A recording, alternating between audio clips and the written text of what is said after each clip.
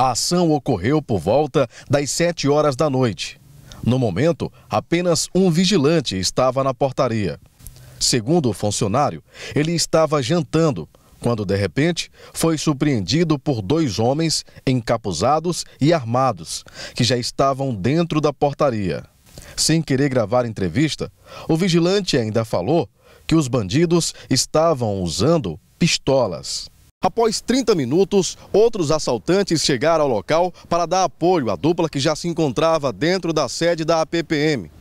Apontando armas de fogo para a cabeça do vigilante, eles falavam o tempo inteiro que outras pessoas estavam monitorando do lado de fora e também estavam fortemente armadas.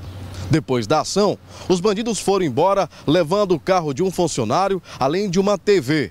Além de levar o equipamento que grava as imagens do circuito interno das câmeras de segurança, os bandidos ainda cobriram as lentes das câmeras com tinta e tamparam as portas de vidro com plástico preto. Após a ação, eles ainda levaram o veículo de um funcionário que estava no estacionamento da sede da PPM. Nós conversamos com o proprietário do veículo que foi levado pelos bandidos. Ainda com medo, ele relata no momento em que ele chegou no prédio da PPM e encontrou o colega ainda amarrado.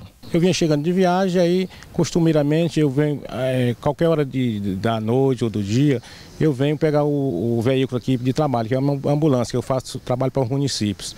E aí ao chegar, estranhei, porque o, o colega sempre é atento. Aí não abriu na hora.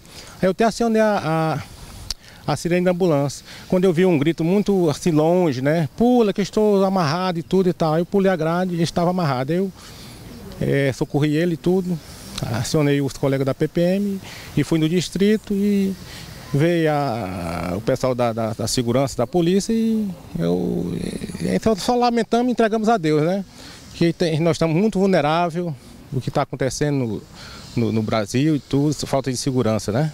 E o senhor teve o seu carro levado, o senhor trabalhando, isso chega a ser revoltante. Com certeza, mas se eu, o pior poderia ter acontecido se eu tivesse chego, eles tivessem aí, eu poderia não estar contando a história agora, né?